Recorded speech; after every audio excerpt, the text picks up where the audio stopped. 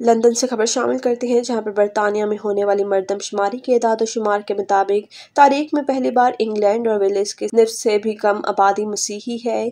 बरतानिया के दफ्तर बरए कौमी शुमारियात ने कहा है कि दो हज़ार इक्कीस में की गई दस साल मरदमशुमारी में मुस्लिम आबादी में तेज़ी से इजाफा हुआ है। इंग्लैंड और वेल्स में मसीहियों की बाद सबसे ज़्यादा लोगों ने बेमजहब के तौर पर अपनी शिनाख्त दर्ज करवाई। मज़हब का सवाल दो हज़ार एक में बरतानिया की मरदमशुमारी में शामिल किया गया था।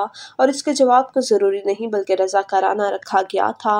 लेकिन ओ एन एस के मुताबिक मरदमशुमारी के दौरान चौरानवे फ़ीसद लोगों ने मज़हब के हवाले से सवाल का जवाब दिया। इंग्लैंड और वेल्स में तकरीबन सताइश इशारिया पाँच मिलियन अफराद या छियालीस इशारिया दो फ़ीसद ने खुद को मसीही बताया, जो दो हज़ार ग्यारह के मुकाबले में तेरह इशारिया एक फ़ीसद कम है।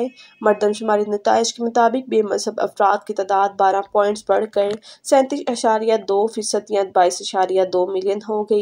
जबकि मुसलमानों की आबादी तीन इशारिया नौ मिलियन या छः इशारिया पाँच फ़ीसद रही, जो कि पहले चार इशारिया नौ फ़ीसद थी। इसके अलावा बरतानिया में हिंदुओं की तादाद दस लाख, सिखों की पाँच लाख, चौबीस हज़ार, बुद्ध मत के मानने वालों की दो लाख तिहत्तर हज़ार, जबकि यहूदियों की तादाद दो लाख इकहत्तर हज़ार है।